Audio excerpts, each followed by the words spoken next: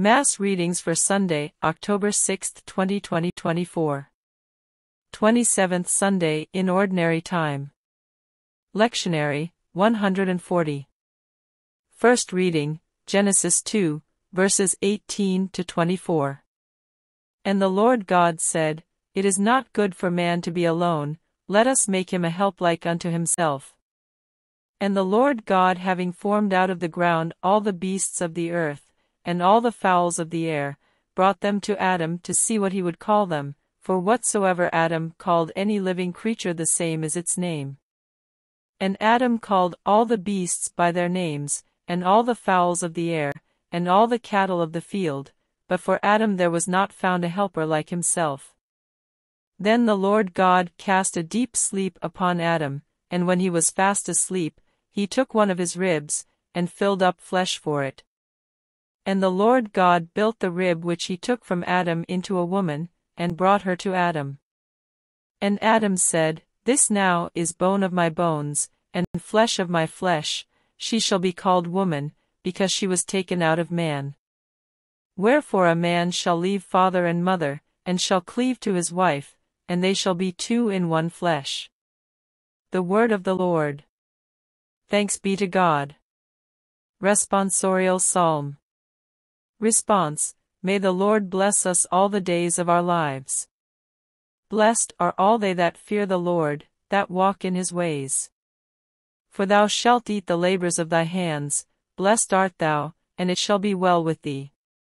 Response May the Lord bless us all the days of our lives thy wife as a fruitful vine, on the sides of thy house.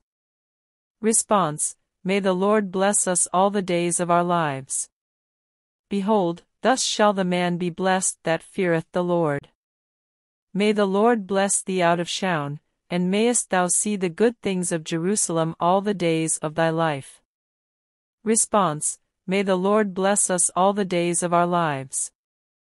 And mayest thou see thy children's children, Peace upon Israel. Response May the Lord bless us all the days of our lives. Second reading, Hebrews 2, verses 9 to 11. But we see Jesus, who was made a little lower than the angels, for the suffering of death, crowned with glory and honor, that, through the grace of God, he might taste death for all. For it became him, for whom are all things, and by whom are all things, who had brought many children into glory, to perfect the author of their salvation, by his passion. For both he that sanctifieth, and they who are sanctified, are all of one. For which cause he is not ashamed to call them brethren, saying, The word of the Lord. Thanks be to God. Alleluia.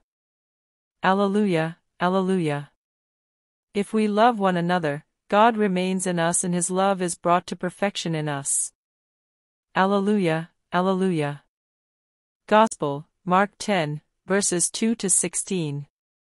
And the Pharisees coming to him asked him, Is it lawful for a man to put away his wife? Tempting him.